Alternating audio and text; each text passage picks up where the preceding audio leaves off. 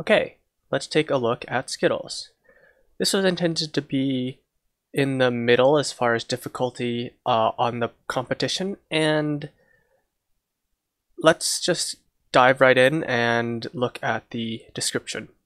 Okay, so the basic idea of this problem is that Megan likes eating Skittles in batches containing one Skittle of each color. So she likes eating a handful of uh, containing one green, yellow, orange, red, and purple Skittle together in one handful. Most of the time, though, uh, the bags of Skittles that she gets do not have the same number of each Skittle flavor. So in this case, she'll try and eat as many with all five flavors as possible, and then as many with all four flavors, etc., until all the Skittles are gone. So this example kind of describes what this looks like. For this example, we have six green Skittles, two orange Skittles, two purple Skittles, two red ones, and three yellow ones.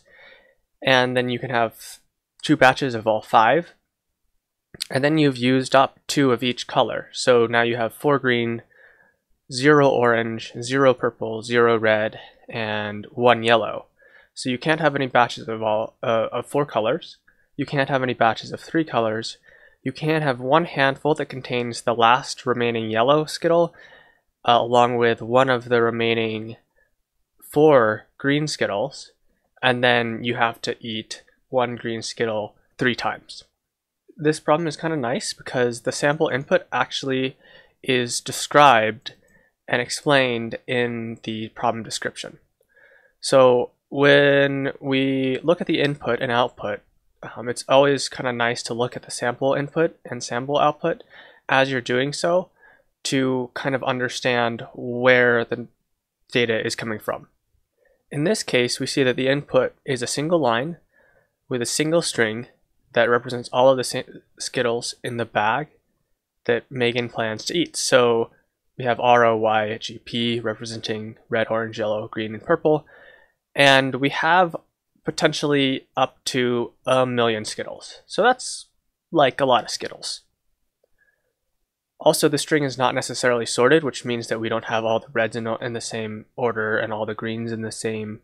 Uh, we have them distributed out, just kind of like a normal bag of Skittles. And that all makes sense. We have uh, definitely not sorted string here. It's one string, one line. Let's now look at the output. The output is going to be an integer and a string for each line, and we have five different lines. The integer is going to represent how many batches of the given size can be eaten, and the string represents the colors present in each batch of that size. Okay, so basically we have two batches of all five colors, one batch of yellow and green, and then three batches of only green. Batches is the same thing as handful, effectively. Now, we need to determine which line represents which. It kind of makes sense from this output. This one's going to be how many batches of size 5, then 4, then 3, then 2, then 1, because that's what our example is. But let's dissect this sentence here. It has a little bit of math that makes it slightly difficult to parse. And whenever you see this, uh, the easiest way to figure out what it's actually saying is to go through and see that the first line is going to correspond with a 1 here. So 1 minus 1 is 0. And then we just have 5. So this one is how many batches of size 5. And then let's try the last line here. It's the fifth line. 5 minus 1 is 4. So 5 minus 4 is 1. So this is how many batches of size 1 Megan can eat.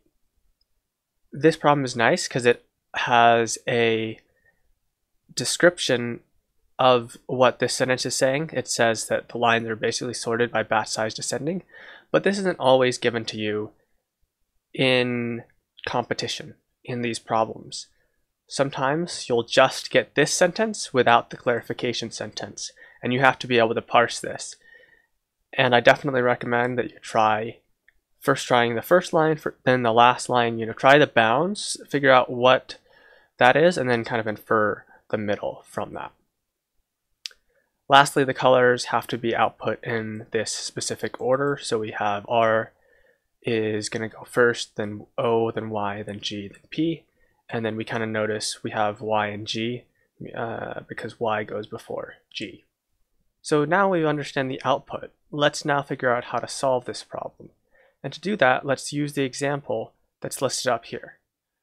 And I've just copied over to here the list of all the colors as well as how many of them we have. Now, let's figure out how we can determine how many batches of each size we can create. Let's just kind of work through if we eat if we can eat one batch of size 5. We have at least one of every color, so we can.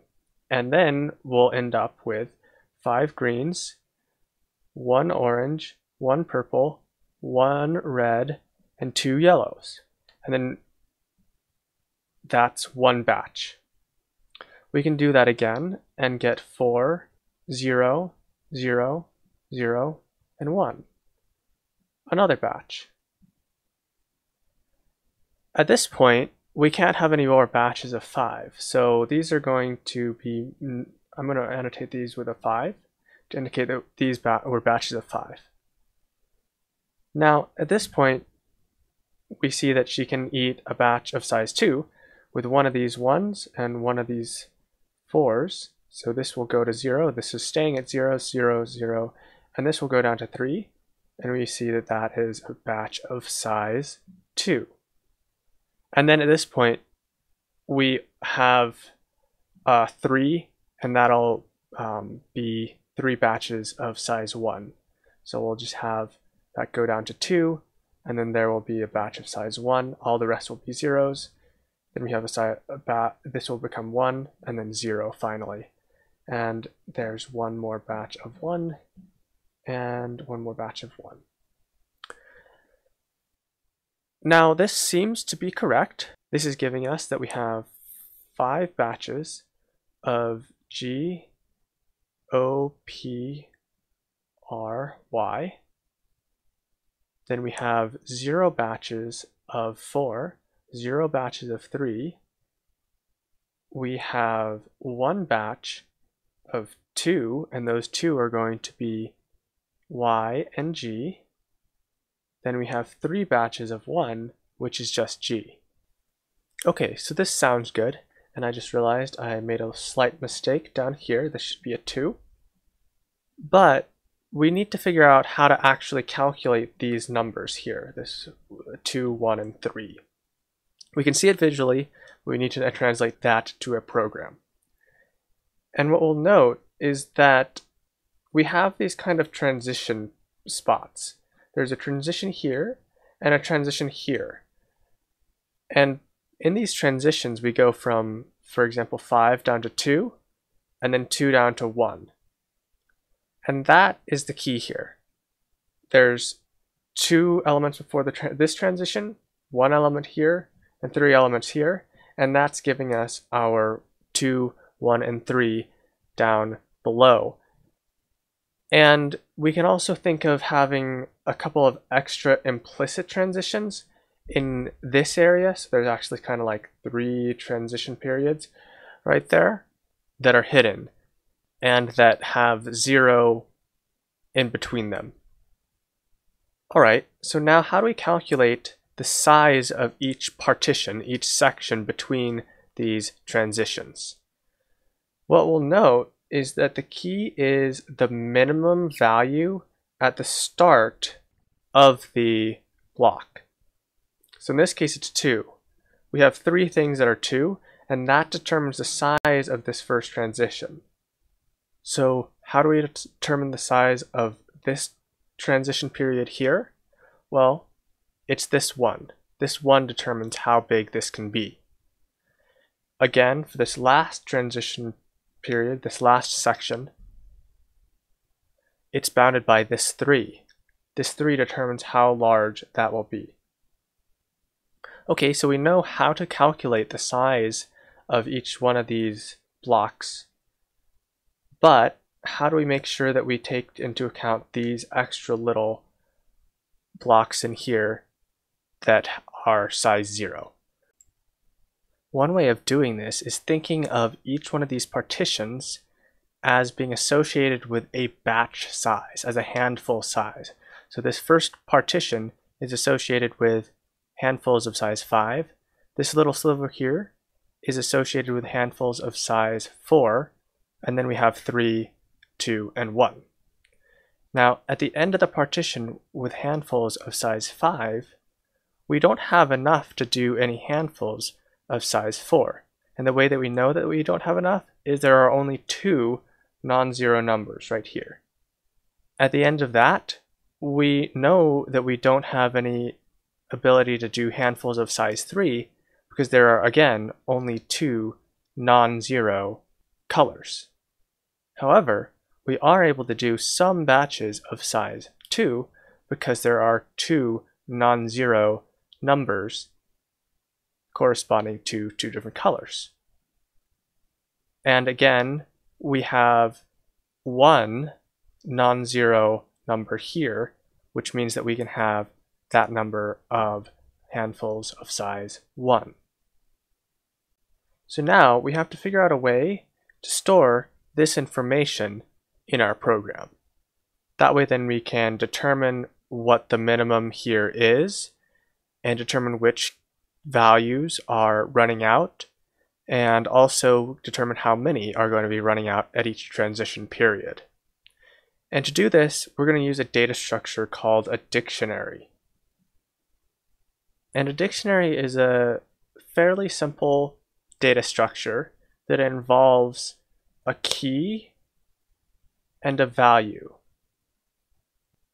And it's kind of like an array in that you can index into your dictionary, but instead of using a number, you'll use this key, which could be basically anything. And then it gives you back a value. So in this case, our keys are going to be our colors, and our values are going to be how many of that color are left in our bag of Skittles. Okay, so let's read this in to a dictionary. dictionaries in Python are squirrely braces. And let's just call this our color count. And we're going to initialize this with our input. We have one line of input, and we're going to iterate through the characters of that line. For each character, we need to update our dictionary and add one to the value corresponding to the color that we see. So here, color count at character is going to be plus equal 1. Now this won't work because color count of character may not exist yet, so we'll add a check for that.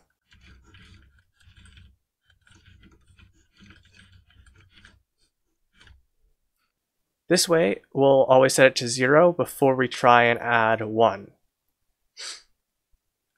All right, let's do a sanity check and print out our color count map. And when we run this, I'll go grab our sample input from here. We get two red, three yellow, six green, two purple, and two orange, which perfectly corresponds to the example that's given, which is also the sample input. So that's good. Okay, now we've read in the data, the next thing we need to do is implement the algorithm that we discussed earlier. And if you recall, there are basically five different partitions. One partition here is for the batches of five, the batches of four, the batches of three, two, and then one. And this number of batches won't ever change. We'll always have five, which sounds like a for loop to me. Now it's going to be easiest for us to go from 5, 4, 3, 2, 1, go backwards. So let's do that. What this will do is iterate from 5 down to 0 backwards. Remember that in Python the second parameter is not inclusive. Alright, so inside of this for loop we need to determine how many batches of that size can be eaten. And what's the criteria for a batch of a given size? Well, the first criteria is that we have to have at least that many non-zero digits. So in this case, there's five non-zero digits, but at this partition here, we only have two non-zero digits, so we can't have any batches of size 4 or of size 3. We can of size 2 because there are two non-zero digits. So let's figure out how many non-zero digits there are in this dictionary.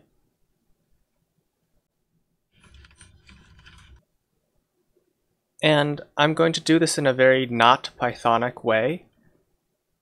This is not very quote unquote good Python, but this will show you a little bit better how this might be implemented in another language. So I'm going to iterate through all of the values of the dictionary. And for each value, if it's greater than zero, I'm going to add to the number of non-zero digits. Okay, that sounds good. Okay, so now let's remember what condition we're trying to test for. We're trying to test if the number of non-zero digits is the same as i. If it's not, then we don't have enough Skittles to eat for that batch size. So we can check if the number of non-zero digits equals i, then in this case, we actually have enough Skittles to eat. Now, what about the other case, where we don't have enough Skittles? In that case, we're supposed to output 0. So if we look back over here, in the cases where we aren't able to eat a batch of Skittles of that size, so of 4 and of 3 respectively, we just output 0. So it's going to be easiest if we reverse our conditional and say if it is not equal to i, so this means that it's it's less than i, then what we're going to do is just output 0. And we have to be careful here. We have to continue and not go on to the rest of the code. So now this is not enough Skittles. Okay, so if we pass this if statement, we know that we have enough Skittles to eat, at least one batch. So we need to figure out how many batches we can actually have. And to do that, let's go back to our drawing. You'll recall that we take the minimum value that's greater than zero, and that's going to determine how big our block size is, our, um, our partition size is.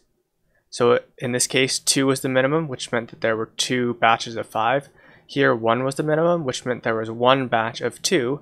3 was the minimum, which meant there are three batches of 1. So let's go over to our code, and where we're iterating over the values, let's also store which one the minimum is. And we're going to do that up here. And I'm going to set this to an absurdly large number just to make sure that on the first iteration we always have a lower number than this here when we do the minimization in the for loop. And if v is greater than 0, and if the v is less than the current min value, then we're going to set the min value to the value. Now, in addition to keeping track of how many batches we're going to have, we also have to keep track of what colors we have. So if we go back over here, we have to keep track of the fact that in this case, for example, with the batches of size 2, these two, y and g, are the values, the colors that we have. So to do this, we're going to change our for loop again, and instead of iterating over the values, we're going to iterate over both the keys and the values so we get this data and this data in our for loop. So right here, we want to iterate through both the key and the value, and we have to change this from values to items. Now we want to store which colors we have seen. So we're going to do that in a set up here. So what is a set? Well, a set is just a unique collection of values. So unlike a list where you can have multiples of the same thing, sets don't have that. If you add something twice into a set, only one copy will exist in that set. Okay, so in our for loop, if the value is greater than zero, then it means that we can eat this color of Skittles, so we should include that color in our included colors set.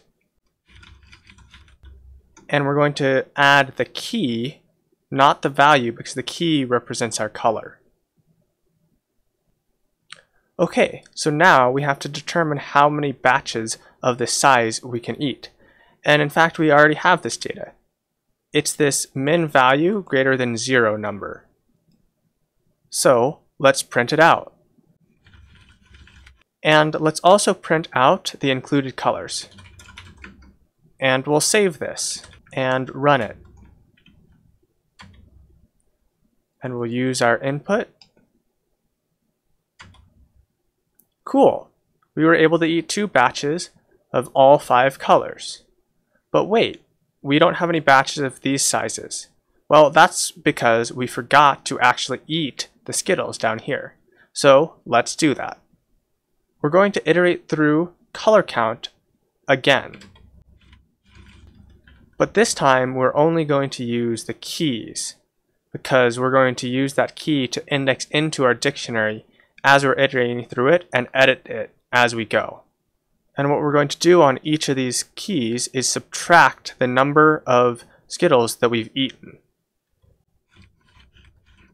So now this is effectively eating min value greater than zero Skittles from each of the colors. You might notice that this may cause some of these to go negative, but that's okay because we have v greater than zero as a guard up here. So even if it goes into negative Skittles, we won't ever include that in our colors. So let's save and run this again. Cool. We get output that looks correct, except for this, which we need to format. So we have 2, 0, 0, 1, and 3. And if we go back to our problem description, we notice that we have 2, 0, 0, 1, and 3. So the first number is correct. Now we have to solve for sorting the output in, a, in the correct order. So we'll copy this string here, and we'll use that to help us sort. And here, we're going to construct our string. And there are many ways of doing this. I'm going to use the sort function in Python and then use a string join to join those together.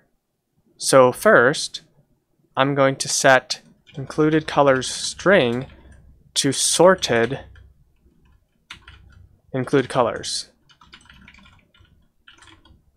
Now, this will sort it alphabetically, but we don't want that.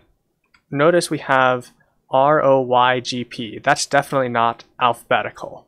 So we're going to add a key parameter and the key is basically a function which will determine a number from the actual value. And those numbers will then be used to sort those values. In my case, I'm going to make it a lambda function. And the output of this function will just be the index of the character of the color in our string. So for example, if C is Y, then the index of C in this string will be 2, which will be the number that the sorted function uses to determine where to put that color. Now, sorted will return basically a list. It's a little bit more complicated. It's a generator, but it's basically a list, so we need to join it together. And Python has a little bit funky string joining. We put the string before the dot join. And then we need to modify the print statement to print out the correct value. Okay, let's test this out. We'll run the program and use our sample input. And cool, R-O-Y-G-P, that is the correct order, Y-G, and then G. Let's go check this on the sample input. R-O-Y-G-P, Y-G, and G. Excellent, it looks like we did it. At this point, we should try a few of our own sample inputs just to make sure that we haven't missed anything. And a good test case is this bound here, this 1 and 1 million. 1 million is going to be hard to test, but let's test with just one skittle. So let's do R. Excellent. We weren't able to eat any groups of 5, any batches of 4, any batches of 3, 2, but we were able to eat just a single batch of one red skittle. That looks good. Now, let's make sure that our sorting is working properly. And the way that we're going to do this is by doing the reverse of this string. So PGYOR. This should have one single batch of five with all five colors, except for sorted the exact opposite direction as this. And it is R-O-Y-G-P. Okay, let's see if this works.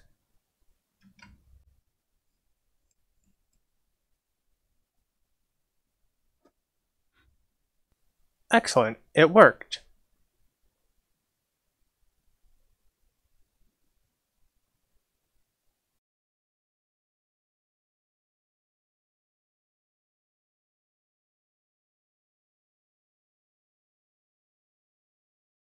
Thanks for watching to this point. Now that you're here, I'll tell you a secret. When I did this the first time, I didn't make this number big enough. I only made it 2 to the 10, which is 1024, which is not big enough for the bound, because the bound can go up to 200,000 batches of a given size. So I ended up having to go and edit this. If you go back and look at the video, you might be able to tell. Don't tell anybody that secret though.